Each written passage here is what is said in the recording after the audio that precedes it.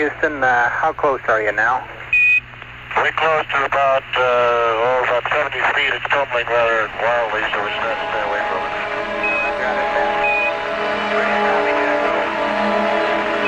Separation at zero three zero two zero.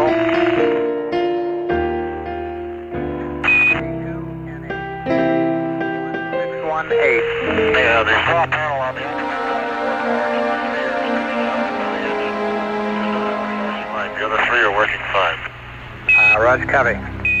Galileo, Kepler y el cielo.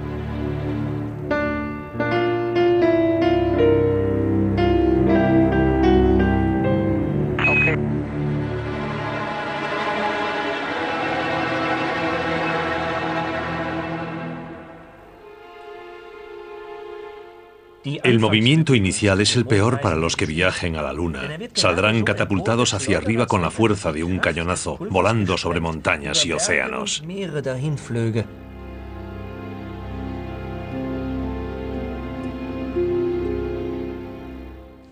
La galaxia no es más que un cúmulo infinito de estrellas. A cualquier parte que se oriente el telescopio, de inmediato se ve una enorme cantidad de estrellas. Kepler y Galileo, dos confidentes, investigadores y rivales que vivieron hace más de 400 años en una época en que la ciencia moderna aún estaba en pañales. La Plaza de los Milagros de Pisa estaba en 1583 igual que en la actualidad. Pisa, famosa en toda Europa por tener una de las universidades más antiguas y famosas, era una ciudad estudiantil en una época en la que no se distinguía entre la ciencia, la filosofía y la religión.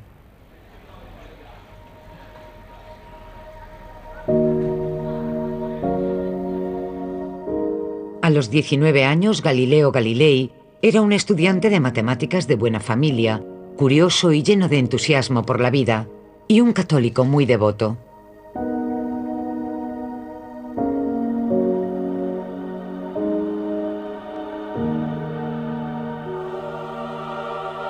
No obstante, un día su curiosidad innata lo distrajo de sus oraciones. Vio que la lámpara suspendida del techo de la catedral se movía. ¿Pero por qué? Se preguntó si podría calcularse el balanceo. Galileo investigó sobre este tema. Sus descubrimientos llevaron a las leyes del péndulo, que forman parte de la base fundamental de la mecánica moderna. Su familia creía que no ganaría dinero con descubrimientos como ese. Cuando las finanzas de su padre fueron a menos, le ordenó a su hijo que dejase Pisa y volviese a Florencia. Al mismo tiempo, a 700 kilómetros al norte, Johannes Kepler, nueve años menor que Galileo, todavía iba al colegio. No se llevaba bien con sus compañeros del internado protestante de Tubinga. La desconfianza y los chismorreos estaban a la orden del día. Las entradas del diario de Kepler son claras. Sufrí muchísimo y casi morí de pena. El motivo fue el rechazo y el odio de mis compañeros, a quienes yo, movido por el miedo, había denunciado, pues en una discusión surgida por unas bebidas, me pegaron. Kepler no encajaba allí. El motivo se remonta a la niñez. Su padre había abandonado a la familia y se alistó como soldado raso. A los que había dejado atrás no solo les acarreó vergüenza, sino también grandes privaciones. El temor a la pobreza perseguiría a Kepler toda su vida. Pese a todos esos problemas, acabó el colegio y en 1588 empezó a estudiar teología en la Universidad de Tubinga. Allí, su profesor Michael Mestlin le presentó las enseñanzas de Copérnico por primera vez. Empezó a sospechar que el Sol no tenía por qué girar en torno a la Tierra.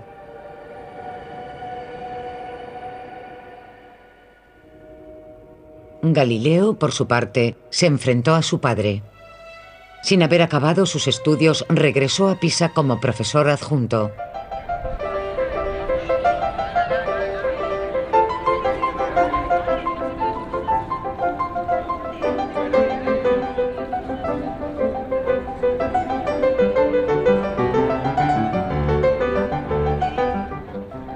Hoy, la torre inclinada de Pisa hace que la gente realice los experimentos más extraños. Para Galileo, también la observación y los experimentos eran más importantes que la simple repetición e interpretación del saber antiguo. Eso, por supuesto, lo hacía chocar a menudo con la opinión aceptada. El objeto de su investigación eran las leyes que regían la caída libre de los cuerpos. La creencia de que para ello arrojaba objetos desde la torre de Pisa es un mito. En realidad, usó algo menos espectacular en su estudio. Un plano inclinado con una bola.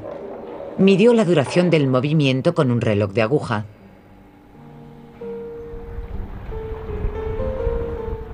Galileo tenía problemas con la parafernalia escolástica. En un poema satírico se quejó sobre el uniforme obligatorio, la toga, porque ni siquiera permitía que los profesores fuesen a los burdeles con discreción, haciendo que dependiesen de la masturbación. Aunque igual de pecaminosa, era mucho menos satisfactoria, afirmó. También estaba lleno de deudas. Tras la muerte de su padre pasó a ser responsable de toda la familia, económicamente también. Cuando quedó un puesto libre en la Universidad de Padua, lo aceptó de inmediato, porque su sueldo allí sería bastante mayor.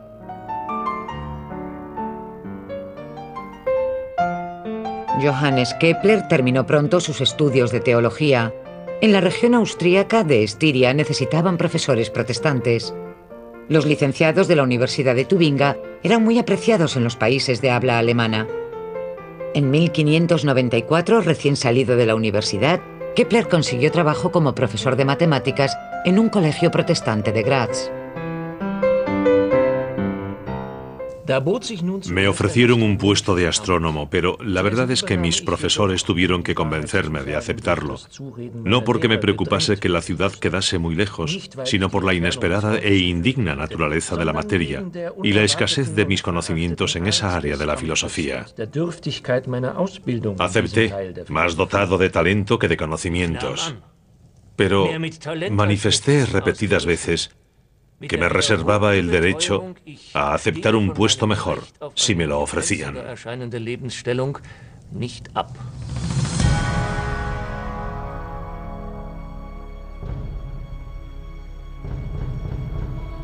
Lo que Kepler no sabía era que Graz era el centro de una guerra religiosa, que aunque local no era menos feroz.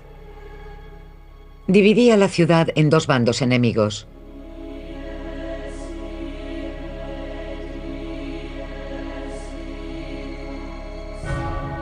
En uno estaban los católicos de Augsburgo, en el castillo de Graz, con una institución educativa justo enfrente, la Universidad Antigua.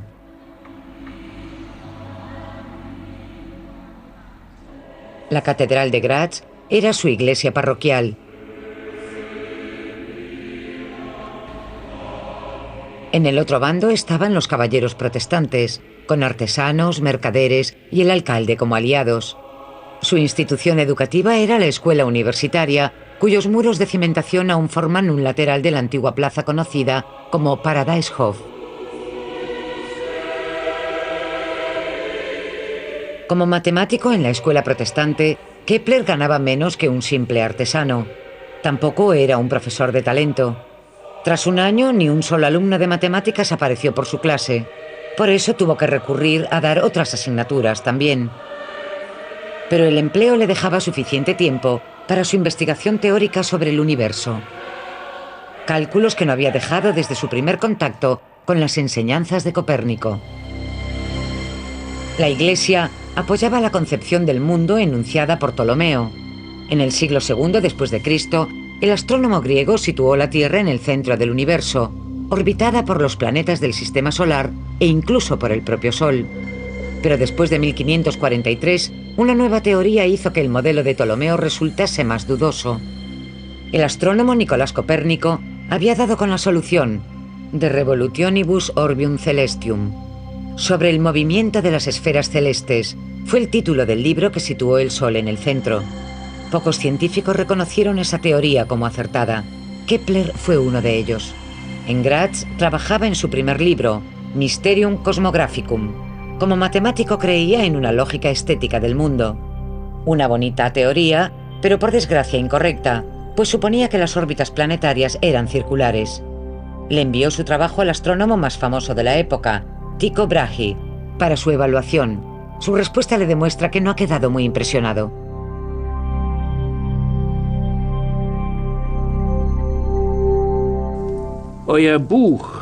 Vuestro libro, que vos denomináis como precursor de tratados cosmográficos, me pareció extraordinario. Vuestro buen razonamiento y vuestros sagaces estudios son brillantes. En cuanto a mi apoyo en esas difíciles investigaciones, Siempre contaréis con él, sobre todo cuando vengáis a visitarme. Y será un placer hablar largo y tendido y cara a cara de estos temas tan sublimes.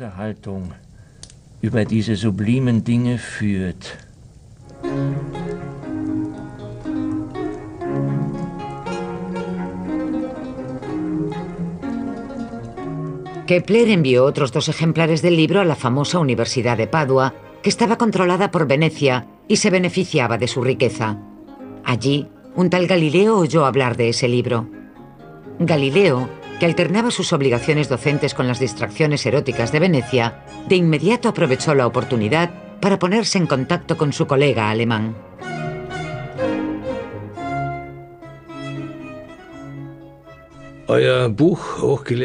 Vuestro libro, doctor señor, que me llegó a través de Paulus Amberger, lo recibí no hace días, sino hace unas horas. Os agradezco por distinguirme con tal prueba de amistad. Aunque Mysterium Cosmographicum no estaba dirigido a él, su carta de agradecimiento a Kepler fue muy efusiva, descubriéndose como seguidor de la teoría copernicana. Tampoco olvidó mencionar su propia importancia científica. Soy muy afortunado de tener un hombre tal como compañero en la búsqueda de la verdad y también como amigo en la propia verdad. Porque es terrible que sean tan escasos los que luchan por ella y sin filosofar de modo incorrecto.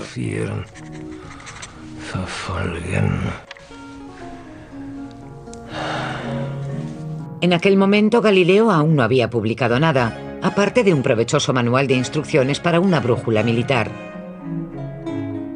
Todavía era bastante reacio a buscarse problemas, sorprendiendo y tal vez incluso escandalizando al mundo de la ciencia con nuevas ideas.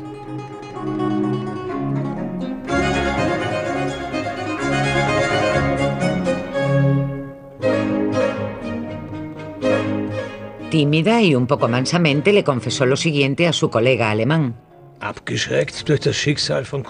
Me desanima el destino de Copérnico, que es nuestro maestro. Adquirió fama inmortal entre unos pocos, pero muchos se mofan de él y lo ridiculizan, porque abundan los necios en el mundo. Me atrevería a hacer públicas mis ideas si hubiese más personas con vuestra actitud. Pero como no es así, no lo haré.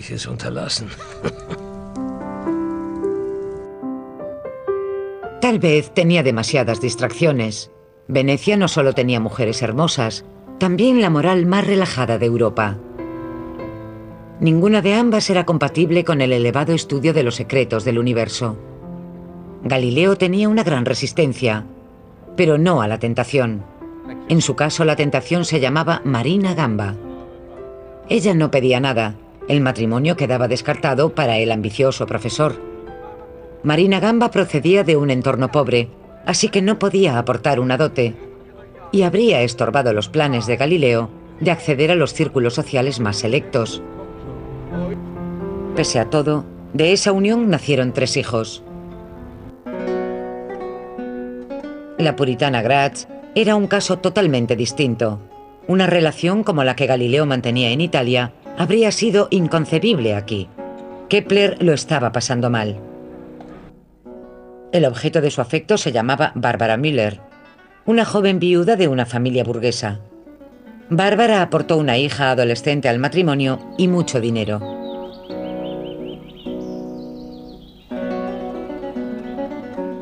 Kepler ansiaba una vida segura dedicada a la investigación científica. La indecisión de su colega de la católica Italia le resultaba incomprensible al protestante Kepler.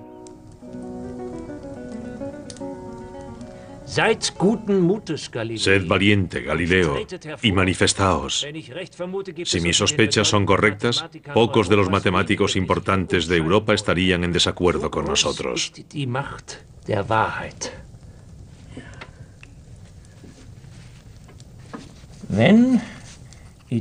Ese es el gran poder de la verdad. Si Italia os parece menos adecuada para vuestras publicaciones y encontráis obstáculos, tal vez Alemania pueda daros esa libertad.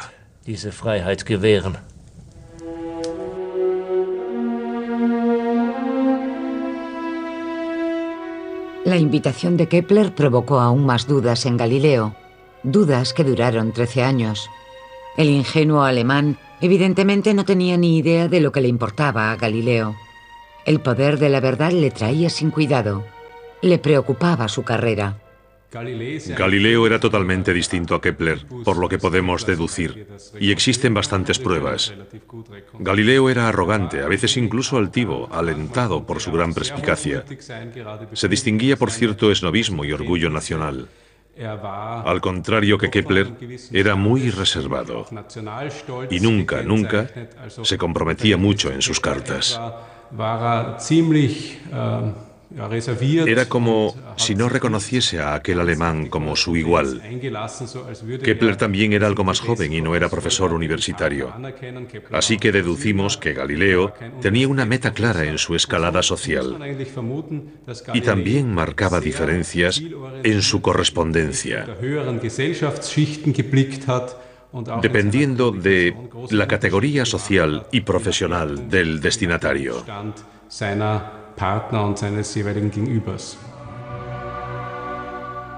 La luz de la verdad siempre está contaminada por la política. La contrarreforma no hizo excepciones con la ciencia. Johannes Kepler recibió un ultimátum. O bien se convertía al catolicismo o abandonaba Graz. Pero, ¿qué sería entonces de la fortuna de su mujer? Por motivos económicos se pasó meses sopesando si no sería más fácil convertirse.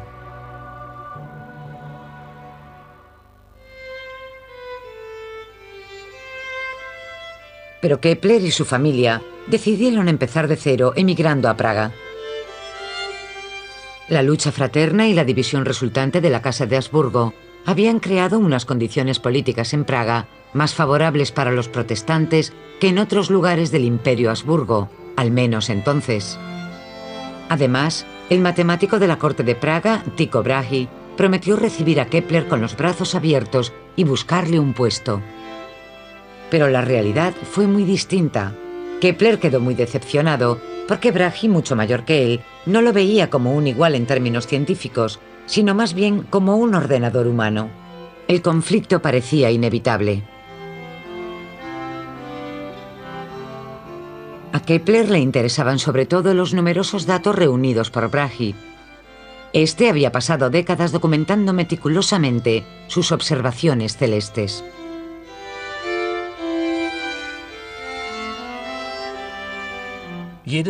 Cada uno de sus instrumentos cuesta más que toda mi fortuna familiar.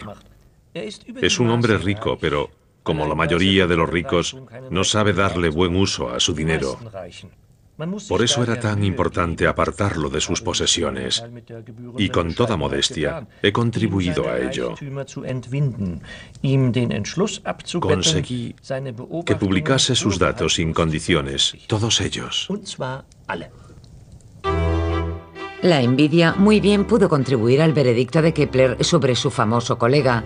Tycho Brahe de inmediato le dio a su nuevo ordenador la tarea más difícil, la órbita de Marte. Marte describe los bucles más extraños del cielo nocturno. Hoy sabemos que se deben a la distinta duración de las órbitas de la Tierra y Marte alrededor del Sol. Tycho Brahe no estaba de acuerdo con la nueva concepción copernicana del mundo. Tenía una solución propia, la teoría ticónica. El Sol y la Luna orbitan a la Tierra, mientras que los demás planetas giran en torno al Sol.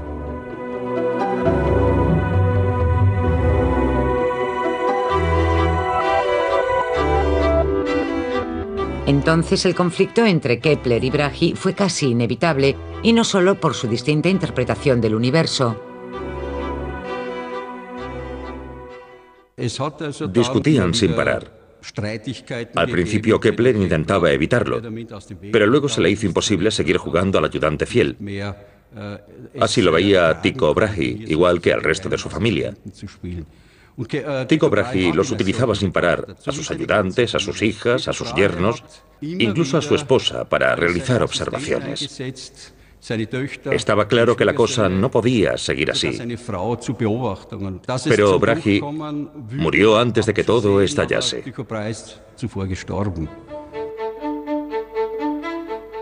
En 1601, un año después de la llegada de Kepler a Praga, Tycho Brahe murió de repente. El emperador Rodolfo II nombró a Kepler sucesor de Brahe.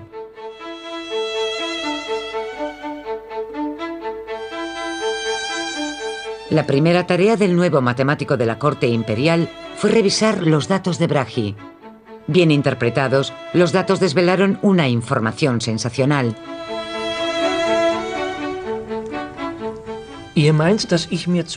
¿Creen que primero reflexiono sobre una hipótesis antigua, luego la adorno como me place y solo entonces paso a demostrar mis observaciones? Están muy equivocados.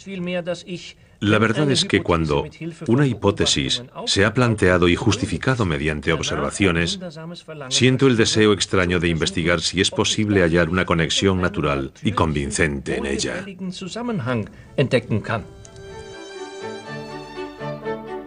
Los datos de observación de Brahe combinados con las interpretaciones de Kepler se convirtieron en la base de la astronomía moderna. Kepler halló sentido a las interminables hileras de números en las tablas, la irregularidad de solo ocho minutos de arco en las coordenadas de la órbita de Marte obsesionaron al maestro matemático. La órbita de Marte no podía ser un círculo perfecto.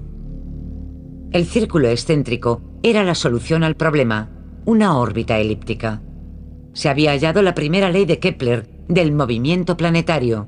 Los planetas se mueven en elipses, con el Sol en uno de sus focos. Poco después, los datos sobre ubicación y duración de las observaciones de Brahe llevaron a Kepler a la segunda ley del movimiento planetario. Dice que la línea que une un planeta con el Sol barre áreas iguales durante intervalos iguales de tiempo. Si el mismo segmento de tiempo se enmarca en toda la órbita, las áreas triangulares que se crean tienen siempre el mismo tamaño. Kepler publicó esas dos leyes en su Astronomía Nova, Nueva Astronomía, en 1609. Esa obra tuvo un carácter revolucionario. Se podía deducir del título secundario de Astronomía Nova, que era física celestis, es decir, física celeste.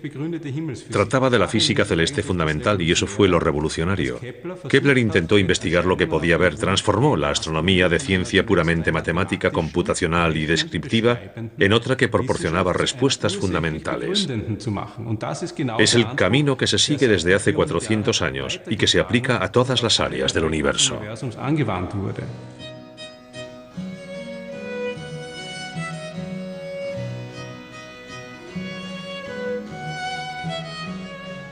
En Padua, Galileo se pasaba el tiempo con asuntos más sencillos, pero también bastante más provechosos. Eran investigaciones encargadas para la industria armamentística veneciana que avanzaban a toda máquina. Entre ellas figuraba el cálculo de las curvas para optimizar el alcance del cañón. Europa se preparaba para la Guerra de los 30 años.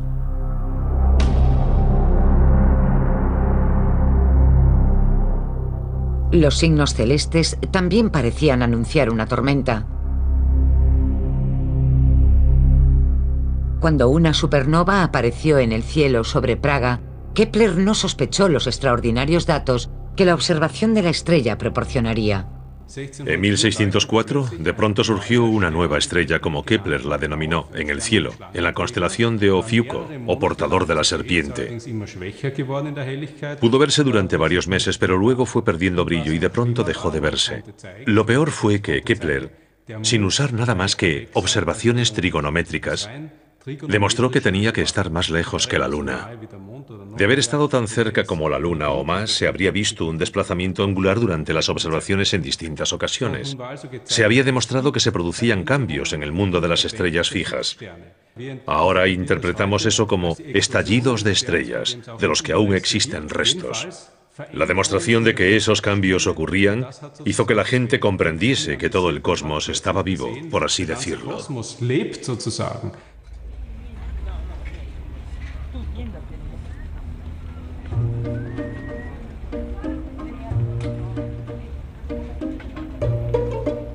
Un día, un comerciante ambulante llegó a Padua con el invento más moderno de Holanda en su equipaje, un telescopio. No está muy claro quién lo inventó de verdad. El holandés Hans Lippershey había registrado la patente diez meses antes. Fue el primero en fabricar un telescopio auténtico.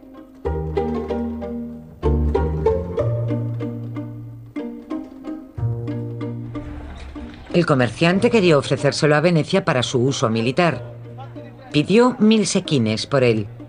Pero Paolo Sarpi, un importante consejero del gobierno veneciano y buen amigo de Galileo, sugirió que no lo comprasen y que esperasen a ver si Galileo podía fabricar algo mejor.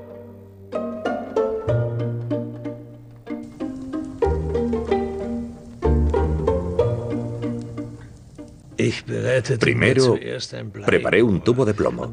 En cada extremo fijé una lente. Ambas eran planas por un lado. Una de ellas era convexa por el otro lado y la otra lente era cóncava. Miré por el lado cóncavo y vi objetos muy grandes y cercanos. Parecían tres veces más cerca y nueve veces mayores que observados a simple vista. Después hice un instrumento más preciso, que agrandaba los objetos 60 veces.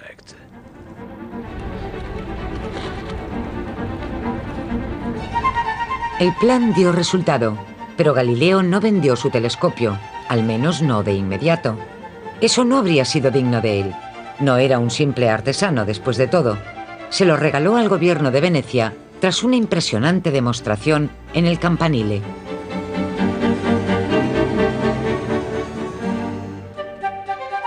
La ciudad le devolvió el favor. A Galileo le concedieron una cátedra vitalicia en la Universidad de Padua y su salario se duplicó.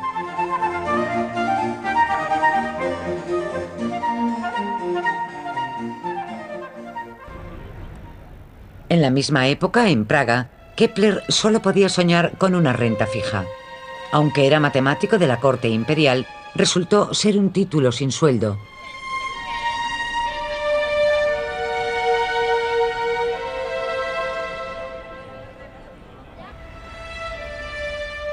Para llamar la atención del emperador, Kepler le dedicó Astronomía Nova, con esperanza de recibir al fin el salario prometido.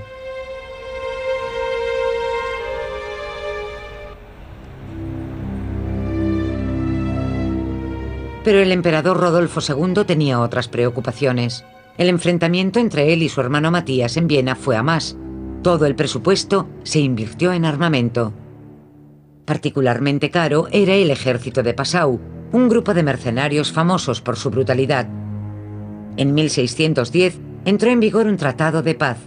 Ambos mandos desmovilizaron a sus soldados, incluidos los del ejército de Passau. En Italia poco se sabía de la guerra que se avecinaba. Galileo usaba su nuevo invento en Padua, no solo para ganar dinero. Una noche sacó el telescopio a la terraza de su casa y lo orientó hacia las estrellas. Lo que vio determinaría el resto de su vida. Primero miró hacia la Luna. El satélite de la Tierra había estimulado la imaginación humana durante milenios. Ya que la Luna es el objeto más próximo a la Tierra, pudo estudiarse bien con el instrumento que ahora tenía Galileo. Este vio un fenómeno comparable al amanecer en la Tierra. Cuando vemos los valles no iluminados aún del todo, también vemos las montañas que lo rodean por la parte que el sol no baña, coronadas por fronteras refulgentes y por crestas iluminadas. Galileo plasmó el nuevo rostro de la luna en dibujos y bocetos. Fue el primero que interpretó correctamente la superficie de la luna. Gracias al terminador lunar, la línea entre la luz y la sombra vio claramente que no era lisa como una pelota. En Praga, Kepler quedó encantado con las descripciones de su colega sobre la Luna. Hoy sabemos que los cráteres redondos se crearon por impactos de meteoritos. La descripción de Kepler fue mucho más poética. Son comparables a los valles de la Tierra y debo admitir que existen algunos de redondez similar, sobre todo en Estiria.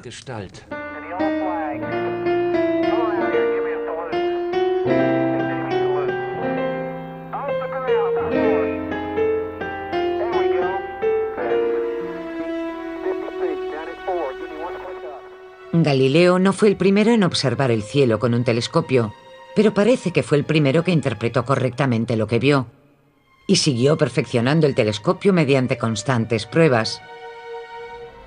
El IMSS, Instituto y Museo de la Ciencia de Florencia, alberga ahora los dos únicos telescopios originales de Galileo que aún se conservan. El personal del museo lo sabe todo sobre el secreto y el éxito científico del telescopio de Galileo.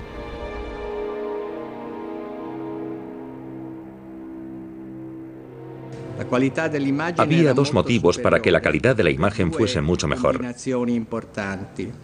La primera era la calidad del acabado. Galileo trabajaba las lentes con un método empírico, que era mucho más preciso que los métodos de los otros fabricantes de telescopios de entonces. La segunda razón era la calidad del cristal. Galileo pudo emplear un cristal muy transparente y también puro. Este cristal procedía de los hornos de Murano. Galileo daba clases en Padua y estaba con frecuencia en Venecia. Era amigo de los fabricantes de cristal de Murano y pudo conseguir un material cuya pureza garantizaba mucha más precisión. Yo he tenido la oportunidad de mirar por uno de los telescopios hechos por Galileo. Cuando cogemos un instrumento de ese tipo creemos que no veremos nada, pero sí que se ve. Para corregir los problemas de imagen, Galileo inventó una abertura para hacer la superficie de la lente menos esférica y como consecuencia redujo la aberración cromática.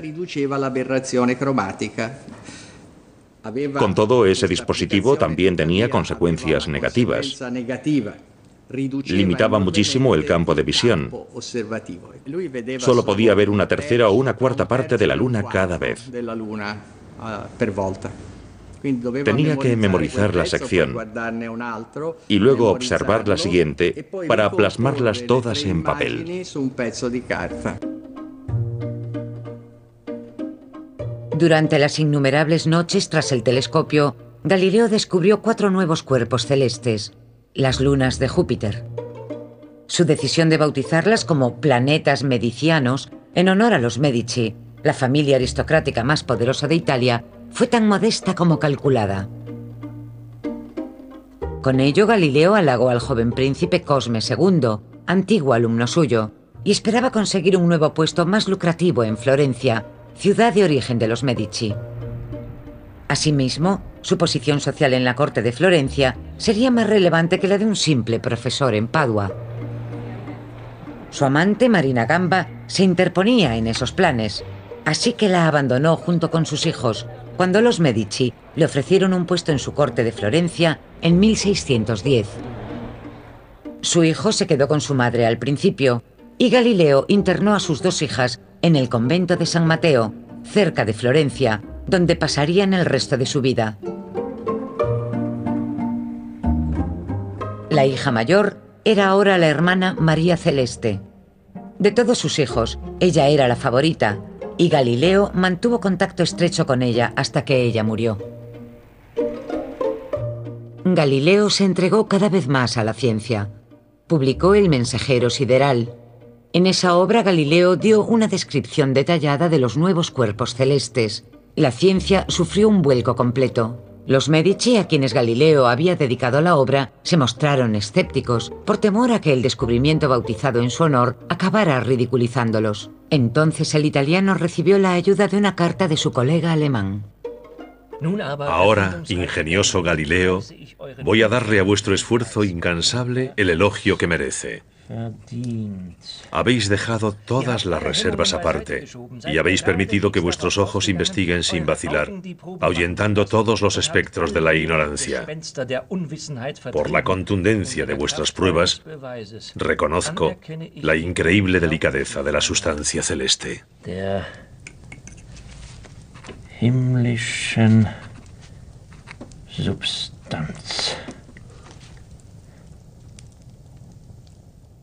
De niño, Kepler había sufrido la viruela y desde entonces padecía miopía aguda.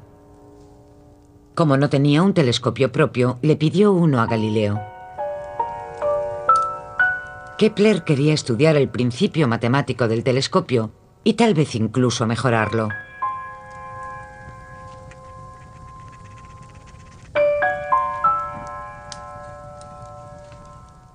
Habéis despertado un gran deseo en mí de ver vuestro instrumento para que, como vos, también pueda disfrutar del espectáculo del cielo.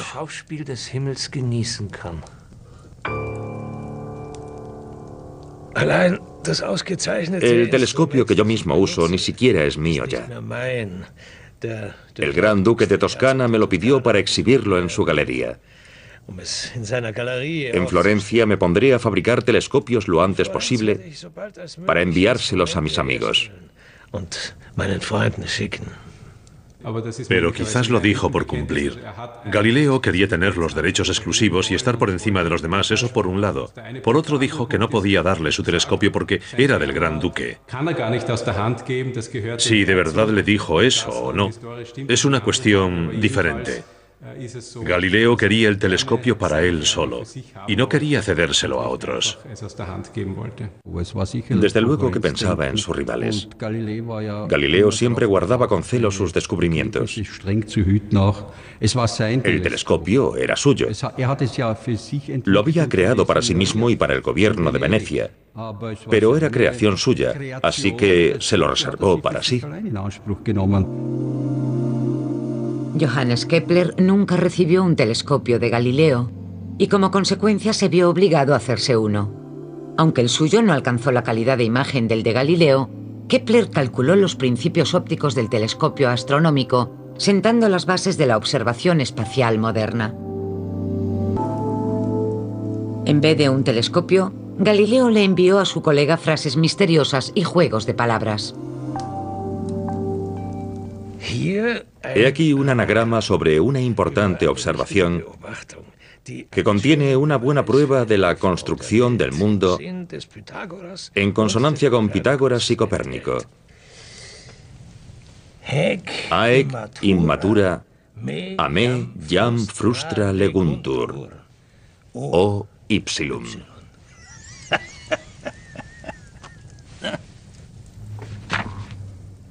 Aec Ilmatura.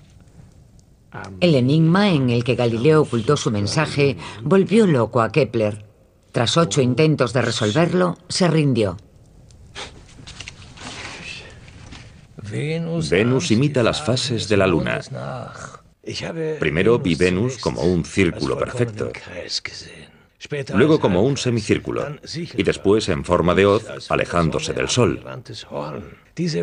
Esos fabulosos datos son prueba fehaciente de que Venus se mueve alrededor del Sol. Vos y los demás copernicanos podéis estar orgullosos de haberlo deducido correctamente. Al norte de los Alpes, Europa tenía diferentes preocupaciones. Mientras Galileo le enviaba misteriosos enigmas que resolver, el mundo de Kepler en Praga se derrumbaba a su alrededor. Tras haber estado desmovilizado, el famoso ejército de Passau marchó sobre Praga y atacó a la población civil con inconcebible crueldad. La guerra y la peste llenaron la ciudad de cadáveres. El hijo de Kepler murió de viruela. Kepler quiso poner a salvo a su mujer y a su familia y solicitó un puesto de matemático en la ciudad austríaca de Linz. Pero ya era tarde para su esposa. Bárbara Kepler murió antes del traslado. Perdí a mi esposa. Y el esfuerzo que hice sobre todo por su recuperación fue en vano. Conmocionada por la crueldad de los soldados y las escenas de lucha sangrienta en la ciudad, atormentada por la falta de esperanza de un futuro mejor para colmar su sufrimiento, contrajo la fiebre húngara. Todo lo que Kepler pudo hacer fue refugiarse en su trabajo. La correspondencia con su colega italiano dejó de entusiasmarlo. Kepler se había hartado y por carta le pidió a Galileo un descanso.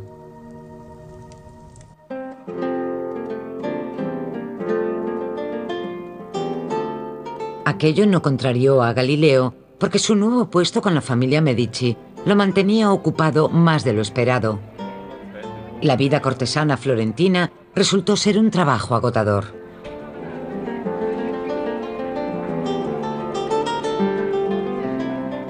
Los debates científicos y las batallas oratorias estaban muy de moda, así que Galileo consideraba necesario no solo tener una opinión sobre todos los aspectos de la vida humana, sino también defenderla científicamente.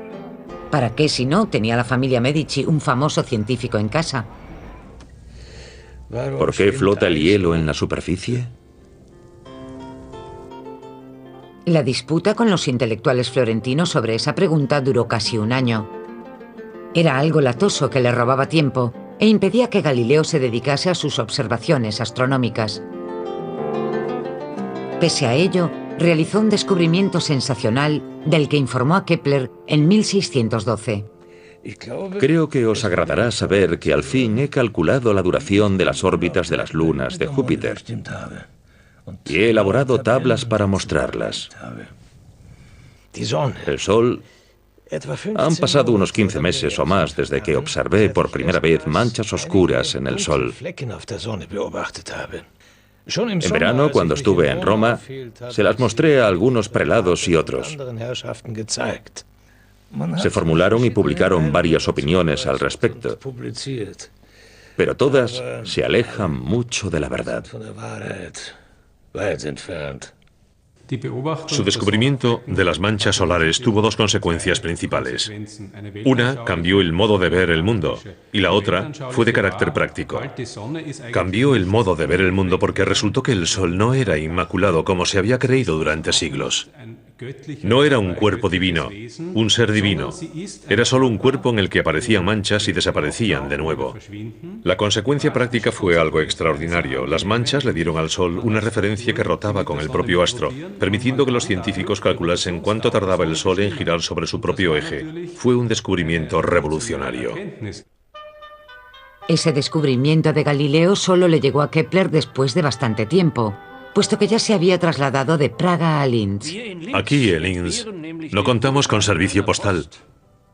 Y los mensajeros se muestran hostiles hacia los intelectuales. Para Kepler, los resultados de su colega italiano parecían ir perdiendo cada vez más importancia. Kepler trabajaba de nuevo como profesor en un colegio religioso. Era un puesto como el que había desempeñado en Graz. Fue un paso atrás en su carrera, pero su vida privada era lo principal. Kepler se casó de nuevo, pero solo tras estar indeciso durante mucho tiempo entre 11 candidatas. ¿Fue designio divino o flaqueza moral mía que en los dos años pasados o más mi mente explorase tantas posibilidades y yo haya buscado tantas posibles parejas, cada una tan diferente de otra? Si fue designio divino, ¿qué propósito se ocultaba tras las personas y sus actos? Llevaba la vida contemplativa de un estudioso de provincias con un empleo seguro, para quien ningún problema, por muy trivial que fuese, era pequeño. Él, el hombre que había medido el cosmos, se inspiró en los comerciantes de vinos del Danubio para calcular matemáticamente el volumen de los barriles de vino. Por algún motivo desconfiaba del método de medición de Linz. El vendedor llegó con una vara de medir como único instrumento. No tuvo en cuenta la diferencia de los barriles, ignoró sus formas y no hizo cálculos. Introdujo la vara de hierro en ángulo en el orificio del barril lleno, hasta llegar al extremo inferior de los dos laterales circulares.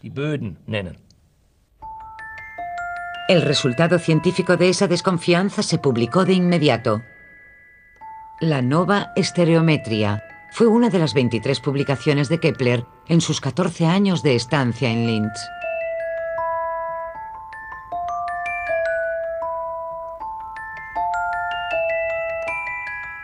En Linz, Kepler tuvo al fin suficiente tiempo y paz para dejar que su curiosidad explorase un poco.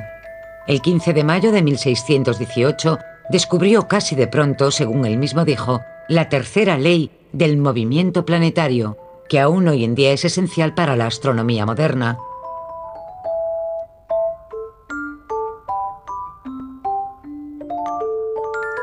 El cuadrado de las órbitas planetarias es exactamente proporcional al cubo de los ejes semiprincipales de sus órbitas. Suena mucho más complicado de lo que es. Simplificando, significa que cuanto más alejado el planeta del Sol, más lento se mueve. A los pocos días de su descubrimiento, el 23 de mayo de 1618, Europa se sumió en el caos. La defenestración de Praga desencadenó la Guerra de los 30 años. Fernando de Austria respondió y comenzó la persecución de los protestantes. Linz fue ocupada por tropas bávaras católicas. Kepler recibió la noticia de que habían detenido a su madre e iban a juzgarla por brujería.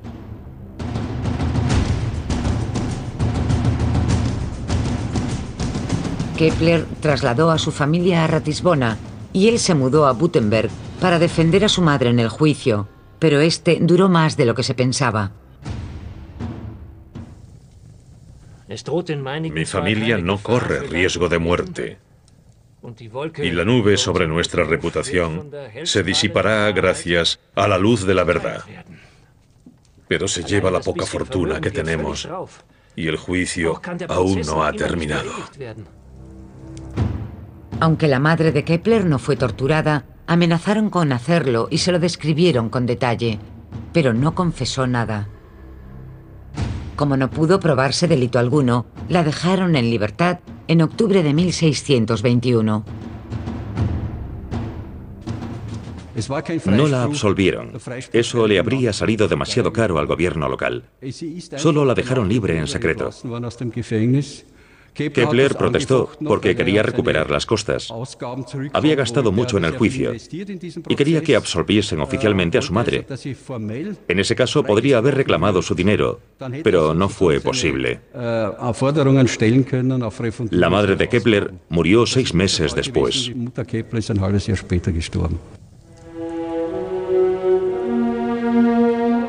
Incluso durante el largo juicio y siempre de un lado a otro, Kepler empezó nuevas obras, La armonía de los mundos y Epítome de astronomía copernicana.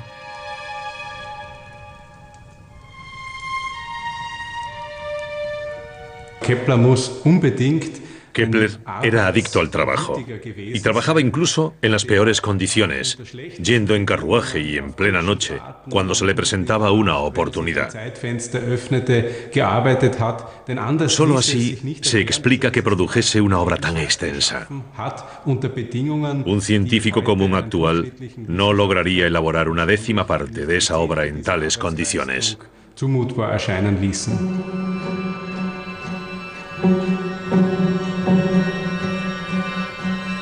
Epítome de Kepler se puso en la lista de libros prohibidos en Italia, ya que defendía el modelo astronómico copernicano. Poco después de su publicación, las tesis de Copérnico se prohibieron por decreto, 80 años después de la muerte de su autor. La impetuosa conducta de ciertos individuos que no han sabido exponer las tesis astronómicas en el lugar idóneo y con el método adecuado, ha hecho que la lectura de Copérnico, que se permitió durante 80 años, se haya prohibido hasta que mi libro se mejore. La acusación de Galileo iba dirigida a Galileo en Florencia, que como Kepler descubrió, estaba exponiendo sus propias tesis científicas con demasiada vehemencia. Pero nadie quería atacar al famoso erudito directamente, así que en su lugar, las tesis copernicanas, que también subyacían en las ideas de Galileo, se prohibieron. Una solución elegante. Desde entonces, todo el que dijese que la Tierra giraba alrededor del Sol era un hereje. Problema resuelto.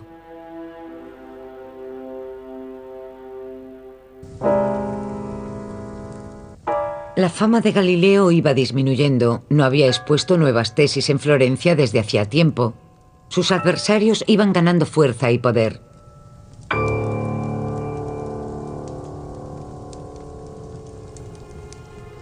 Entonces, Galileo irrumpió de nuevo en la escena científica en 1623 con su obra Il Saggiatore. Cinco años antes, en 1618, tres cometas habían aparecido en el cielo en menos de un año, pero Galileo no había podido observarlos. Ahora desencadenó la polémica cargando contra la supuesta estupidez de sus colegas. Declaró que los cometas eran simples reflejos de la luz en la atmósfera terrestre, que eran fenómenos ópticos, no cuerpos celestes.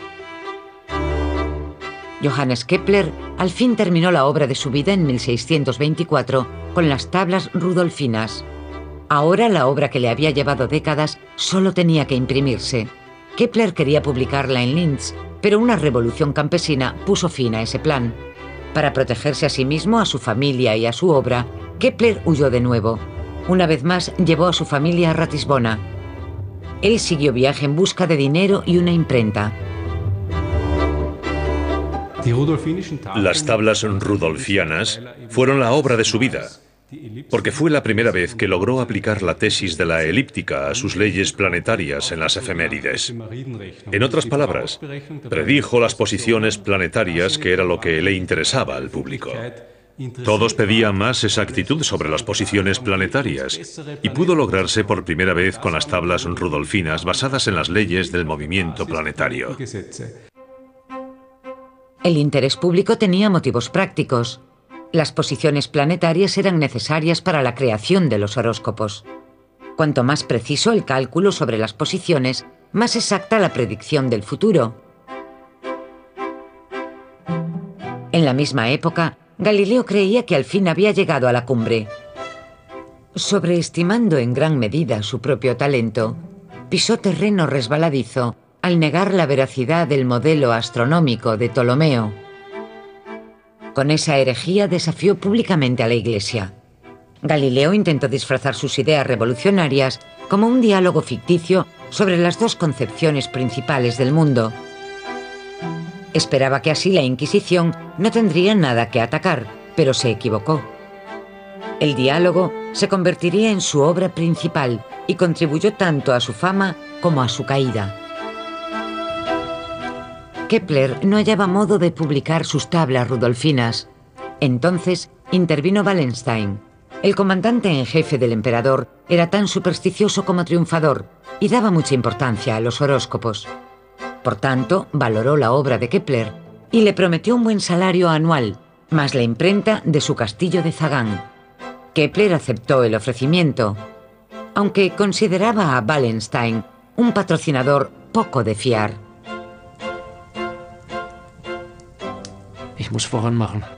Debo darme prisa en terminar lo que empecé. Si tuviese que irme de Zagán, preferiría dejar algo terminado en vez de fragmentos truncados. Finalmente el libro se imprimió y se puso a la venta. Pero el 13 de septiembre de 1630, Wallenstein fue cesado por el emperador. Kepler tuvo miedo porque creyó que se quedaría sin medio de vida.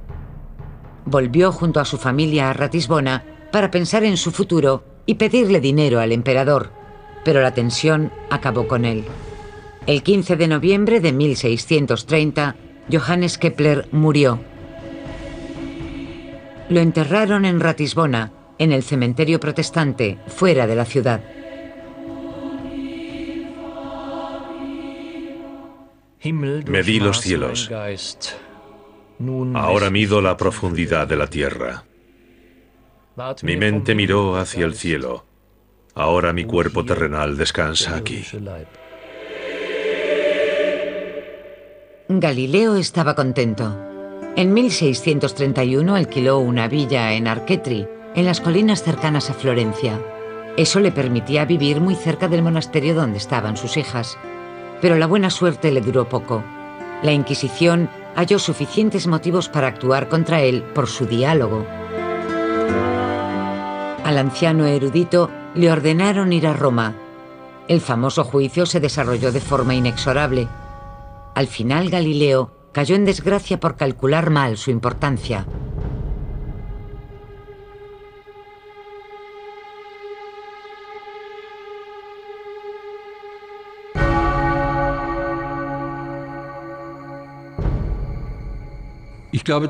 Creo que Galileo siempre se sobreestimó a sí mismo. No solo en una ocasión, no solo cuando apoyó las tesis copernicanas. Su obra principal, El Diálogo, se escribió en latín y en italiano. Eso puso en guardia a la curia. Pensaron que si ese hombre se ponía a escribir en italiano y la gente empezaba a leer su obra, aunque muchas personas aún eran analfabetas, podría convertirse en un problema para la Iglesia. La tesis heliocéntrica iba contra la doctrina de la Iglesia, por tanto la curia tenía que hacer algo. La curia reaccionó. Galileo se vio obligado a retractarse de sus teorías. Hundido, regresó a Archetri desde Roma en 1633. La casa que había alquilado ahora fue su destierro, su prisión, y le prohibieron trabajar. Pero le esperaba algo peor aún. Fue el golpe definitivo.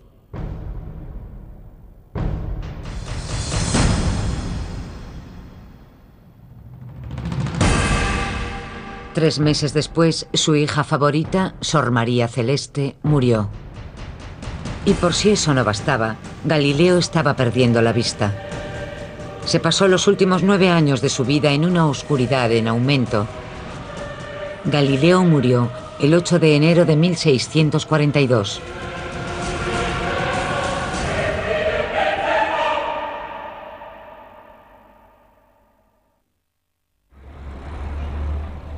Pasados 90 años, en 1736, los restos mortales de Galileo fueron trasladados a la Santa Croce de Florencia, a una tumba construida es profeso para él. Otros 100 años después, en 1835, el diálogo se retiró de la lista de los libros prohibidos. En 1992, Galileo fue rehabilitado oficialmente por el Papa Juan Pablo II. Debe medirse lo que es mensurable, y lo que no lo es debe hacerse mensurable. No se ha encontrado el lugar exacto del enterramiento de Kepler. El cementerio a las afueras de Ratisbona donde lo enterraron ya no existe. En su sitio, ahora hay un hostal para estudiantes. Todo lo que queda es un nombre. Dadme barcos con velas adecuadas para el vuelo celeste. Pero, ¿quién vivirá en esos mundos si realmente están habitados? ¿Somos nosotros o ellos los amos del universo? ¿Y se hizo todo esto para el hombre? Obra de su vida, porque fue la primera vez que logró aplicar la tesis de la elíptica a sus leyes planetarias en las efemérides. En otras palabras, predijo las posiciones planetarias que era lo que le interesaba al público. Todos pedían más exactitud sobre las posiciones planetarias y pudo lograrse por primera vez con las tablas rudolfinas basadas en las leyes del movimiento planetario. El interés público tenía motivos prácticos. Las posiciones planetarias eran necesarias para la creación de los horóscopos. Cuanto más preciso el cálculo sobre las posiciones, más exacta la predicción del futuro. En la misma época, Galileo creía que al fin había llegado a la cumbre. Sobreestimando en gran medida su propio talento, pisó terreno resbaladizo al negar la veracidad del modelo astronómico de Ptolomeo. Con esa herejía desafió públicamente a la Iglesia. Galileo intentó disfrazar sus ideas revolucionarias como un diálogo ficticio sobre las dos concepciones principales del mundo. Esperaba que así la Inquisición no tendría nada que atacar, pero se equivocó. El diálogo se convertiría en su obra principal y contribuyó tanto a su fama como a su caída. Kepler no hallaba modo de publicar sus tablas rudolfinas. Entonces intervino la ley del movimiento planetario, que aún hoy en día es esencial para la astronomía moderna.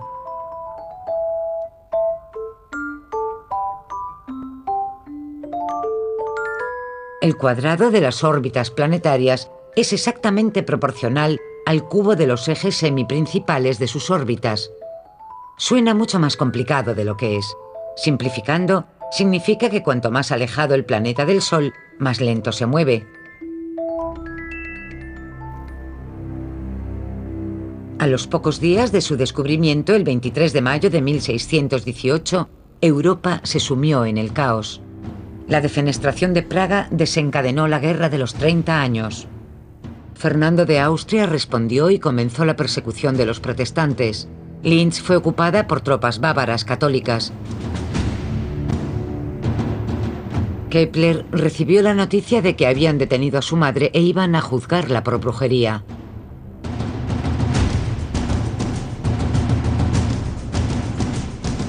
Kepler trasladó a su familia a Ratisbona, y él se mudó a Gutenberg para defender a su madre en el juicio, pero este duró más de lo que se pensaba.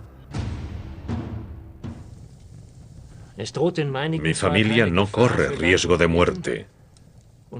Y la nube sobre nuestra reputación se disipará gracias a la luz de la verdad. Problemas, sorprendiendo y tal vez incluso escandalizando al mundo de la ciencia con nuevas ideas.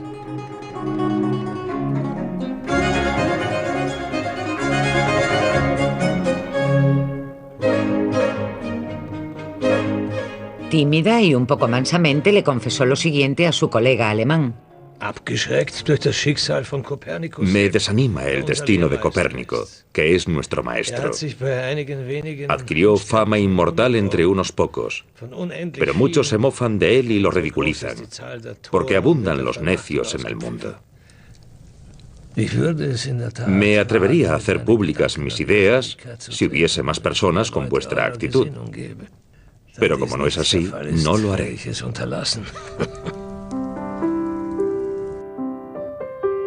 Tal vez tenía demasiadas distracciones.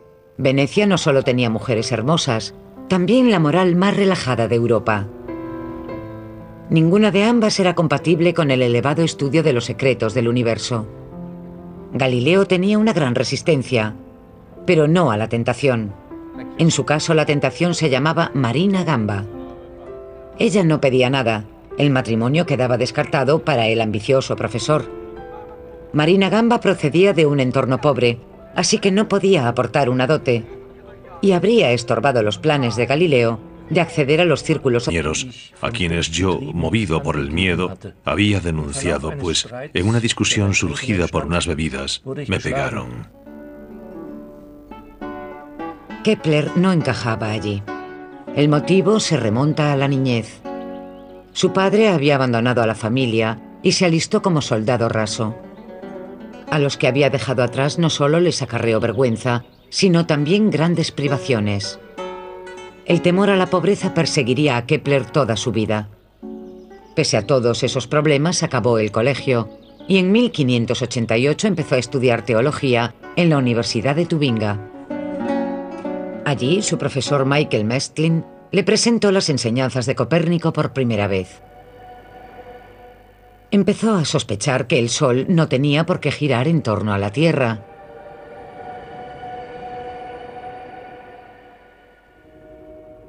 Galileo, por su parte, se enfrentó a su padre. Sin haber acabado sus estudios, regresó a Pisa como profesor adjunto.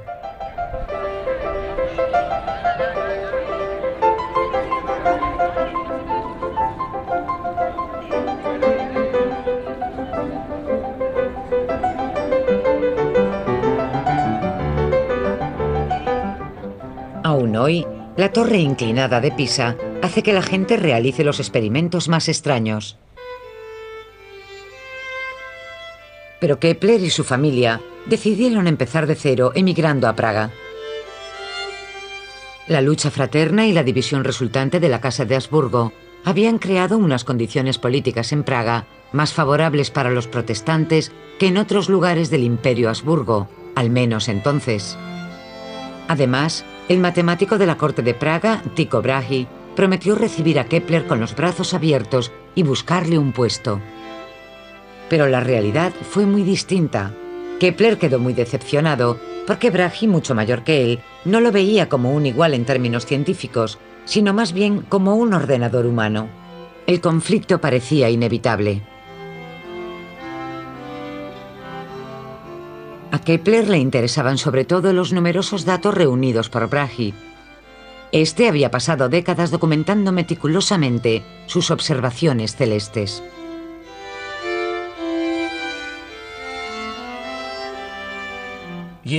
Cada uno de sus instrumentos cuesta más que toda mi fortuna familiar. Es un hombre rico, pero, como la mayoría de los ricos, no sabe darle buen uso a su dinero. Por eso era tan importante apartarlo de sus posesiones. Y con toda modestia he contribuido a ello. Conseguí... Como matemático en la escuela protestante, Kepler ganaba menos que un simple artesano. Tampoco era un profesor de talento. Tras un año, ni un solo alumno de matemáticas apareció por su clase. Por eso tuvo que recurrir a dar otras asignaturas también. Pero el empleo le dejaba suficiente tiempo para su investigación teórica sobre el universo. Cálculos que no había dejado desde su primer contacto con las enseñanzas de Copérnico. La Iglesia apoyaba la concepción del mundo enunciada por Ptolomeo. En el siglo II después de Cristo, el astrónomo griego situó la Tierra en el centro del universo, orbitada por los planetas del sistema solar e incluso por el propio Sol. Pero después de 1543, una nueva teoría hizo que el modelo de Ptolomeo resultase más dudoso. El astrónomo Nicolás Copérnico había dado con la solución de Revolutionibus Orbium Celestium, sobre el movimiento de las esferas celestes fue el título del libro que situó el Sol en el centro. Pocos científicos reconocieron esa teoría como acertada. Kepler fue uno de ellos. En Graz trabajaba en su primer libro, Mysterium Cosmographicum. Como matemático creía en una lógica estética del mundo.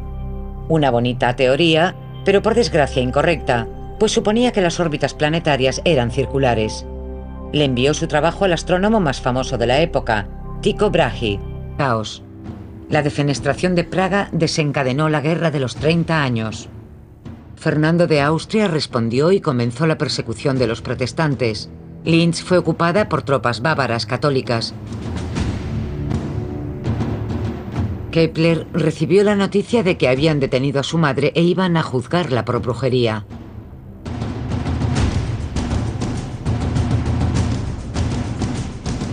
Kepler trasladó a su familia a Ratisbona y él se mudó a Gutenberg para defender a su madre en el juicio, pero este duró más de lo que se pensaba. Mi familia no corre riesgo de muerte. Y la nube sobre nuestra reputación se disipará gracias a la luz de la verdad. Pero se lleva la poca fortuna que tenemos y el juicio aún no ha terminado. Aunque la madre de Kepler no fue torturada, amenazaron con hacerlo y se lo describieron con detalle, pero no confesó nada. Como no pudo probarse delito alguno, la dejaron en libertad en octubre de 1621. No la absolvieron. Eso le habría salido demasiado caro al gobierno local. Solo la dejaron libre en secreto. Kepler protestó porque quería recuperar las costas. La órbita de Marte no podía ser un círculo perfecto. El círculo excéntrico era la solución al problema, una órbita elíptica. Se había hallado la primera ley de Kepler del movimiento planetario. Los planetas se mueven en elipses, con el Sol en uno de sus focos. Poco después, los datos sobre ubicación y duración de las observaciones de Brahe llevaron a Kepler a la segunda ley del movimiento planetario.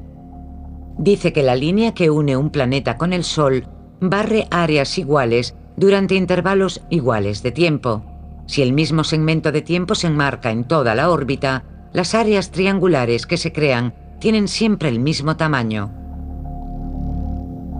Kepler publicó esas dos leyes en su Astronomía Nova, Nueva Astronomía, en 1609.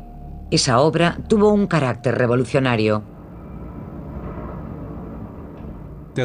Se podía deducir del título secundario de Astronomía Nova, que era física celestis, es decir, física celeste.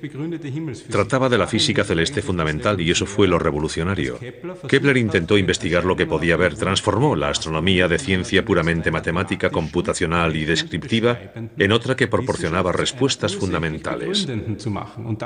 Es el camino que se sigue desde hace 400 años y que se aplica a todas las áreas del universo. Conseguí que publicase sus datos sin condiciones, todos ellos.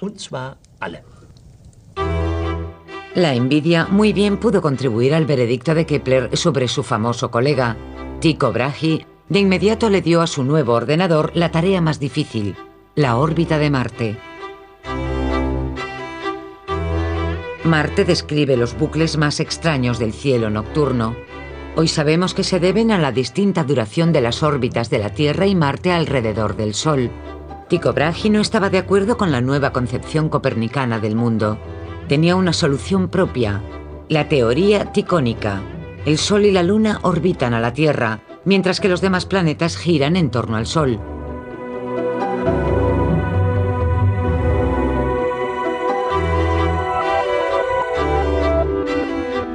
Entonces el conflicto entre Kepler y Brahe fue casi inevitable, y no solo por su distinta interpretación del universo. Discutían sin parar. Al principio Kepler intentaba evitarlo, pero luego se le hizo imposible seguir jugando al ayudante fiel. Así lo veía Tycho Brahe, igual que al resto de su familia. Tycho Brahe los utilizaba sin parar, a sus ayudantes, a sus hijas, a sus yernos, incluso a su esposa, para realizar observaciones. 210. Su hijo se quedó con su madre al principio y Galileo internó a sus dos hijas en el convento de San Mateo, cerca de Florencia, donde pasarían el resto de su vida. La hija mayor era ahora la hermana María Celeste. De todos sus hijos, ella era la favorita, y Galileo mantuvo contacto estrecho con ella hasta que ella murió. Galileo se entregó cada vez más a la ciencia. Publicó El Mensajero Sideral. En esa obra Galileo dio una descripción detallada de los nuevos cuerpos celestes. La ciencia sufrió un vuelco completo. Los Medici, a quienes Galileo había dedicado la obra, se mostraron escépticos por temor a que el descubrimiento bautizado en su honor acabara ridiculizándolos. Entonces el italiano recibió la ayuda de una carta de su colega alemán. Ahora, ingenioso Galileo, voy a darle a vuestro esfuerzo incansable el elogio que merece. Habéis dejado todas las reservas aparte y habéis permitido que vuestros ojos investiguen sin vacilar, ahuyentando todos los espectros de la ignorancia. Por la contundencia de vuestras pruebas, reconozco la increíble delicadeza de la sustancia celeste.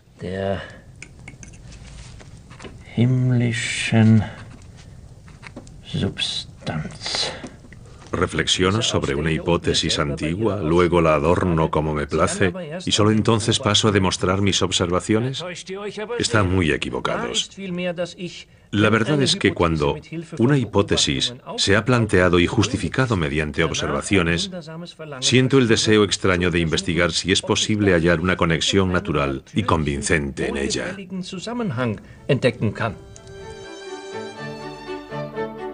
Los datos de observación de Brahe combinados con las interpretaciones de Kepler se convirtieron en la base de la astronomía moderna.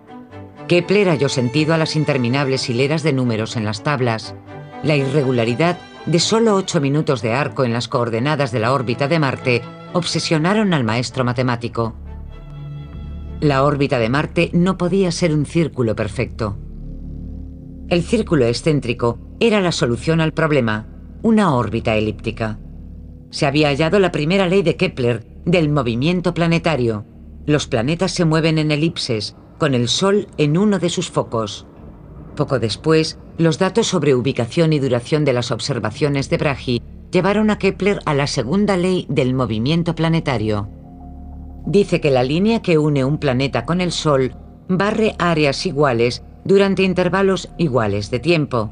Si el mismo segmento de tiempo se enmarca en toda la órbita, las áreas triangulares que se crean, la órbita de Marte. Marte describe los bucles más extraños del cielo nocturno. Hoy sabemos que se deben a la distinta duración de las órbitas de la Tierra y Marte alrededor del Sol. Tycho Brahe no estaba de acuerdo con la nueva concepción copernicana del mundo. Tenía una solución propia, la teoría ticónica. El Sol y la Luna orbitan a la Tierra, mientras que los demás planetas giran en torno al Sol.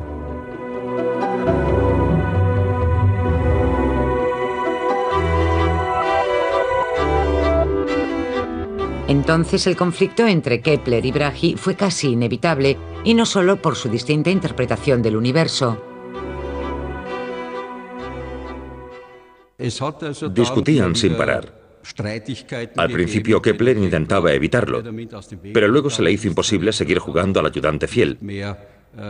Así lo veía Tycho Brahe, igual que al resto de su familia.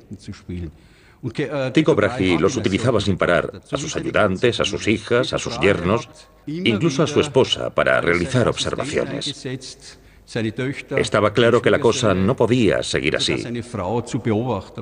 Pero Brahe murió antes de que todo estallase.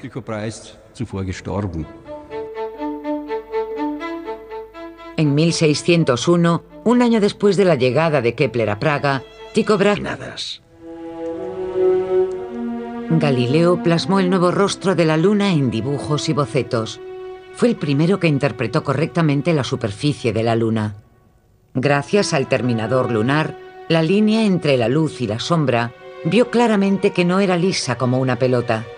En Praga, Kepler quedó encantado con las descripciones de su colega sobre la Luna.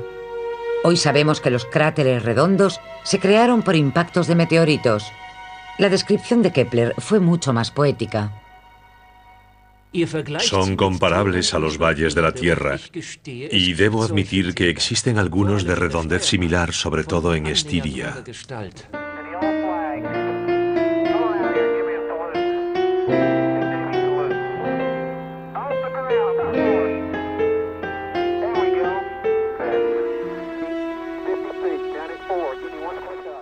Galileo no fue el primero en observar el cielo con un telescopio pero parece que fue el primero que interpretó correctamente lo que vio, y siguió perfeccionando el telescopio mediante constantes pruebas.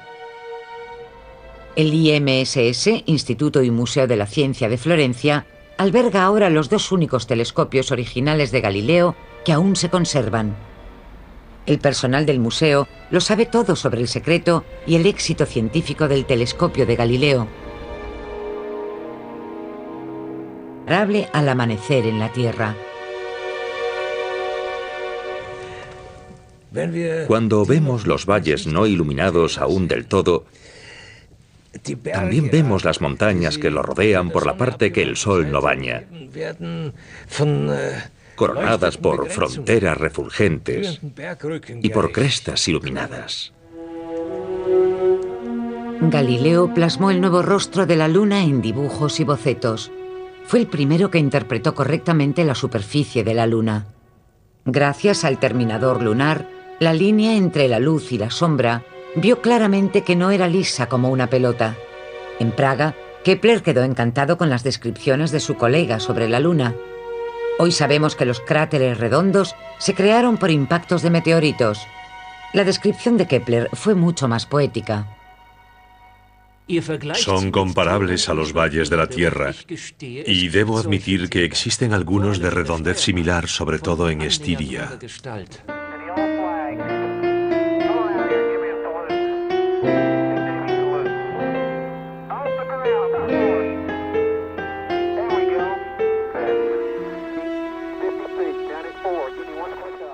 Galileo no fue el primero en observar el cielo con un telescopio pero parece que fue el primero que interpretó correctamente lo que vio. Y siguió perfeccionando el telescopio mediante, con lo seguro, para quien ningún problema, por muy trivial que fuese, era pequeño. Él, el hombre que había medido el cosmos, se inspiró en los comerciantes de vinos del Danubio para calcular matemáticamente el volumen de los barriles de vino. Por algún motivo desconfiaba del método de medición de Linz. El vendedor llegó con una vara de medir como único instrumento. No tuvo en cuenta la diferencia de los barriles, ignoró sus formas y no hizo cálculos. Introdujo la vara de hierro en ángulo en el orificio del barril lleno, hasta llegar al extremo inferior de los dos laterales circulares. El resultado científico de esa desconfianza se publicó de inmediato. La nova estereometría fue una de las 23 publicaciones de Kepler en sus 14 años de estancia en Linz.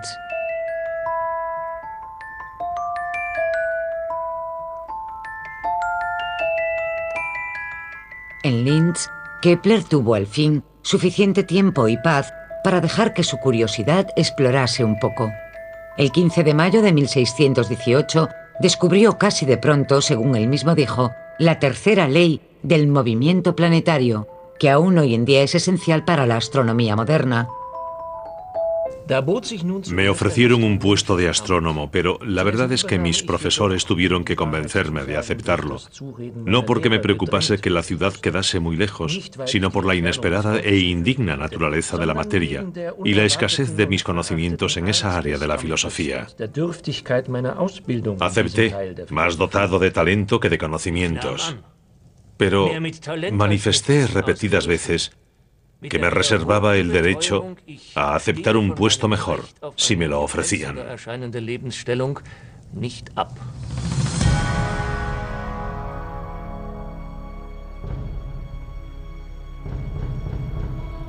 Lo que Kepler no sabía era que Graz era el centro de una guerra religiosa, que aunque local no era menos feroz.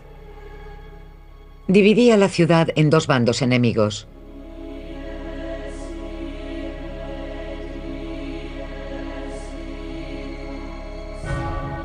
En uno estaban los católicos de Augsburgo, en el castillo de Graz, con una institución educativa justo enfrente, la Universidad Antigua.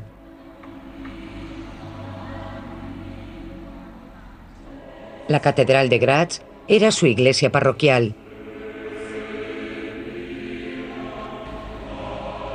En el otro bando estaban los caballeros protestantes, con artesanos, mercaderes y el alcalde como aliado.